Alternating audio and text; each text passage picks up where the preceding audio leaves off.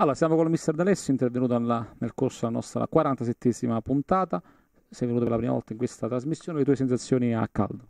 Sicuramente positive perché è, è una trasmissione secondo me di, di qualità anche, anche negli ospiti e come la conduci, quindi ti faccio davvero grandi complimenti in bocca al lupo per il futuro, che sia un settore giovanile importante, di qualità come ricordato in trasmissione, o una prima squadra di livello che davvero arrivi la chiamata giusta per una carriera in attesa della, della giusta consacrazione. Settore giovanile del Napoli, tante esperienze importanti, tanti giovani adocchiati, però che possa arrivare finalmente la, la chiamata giusta.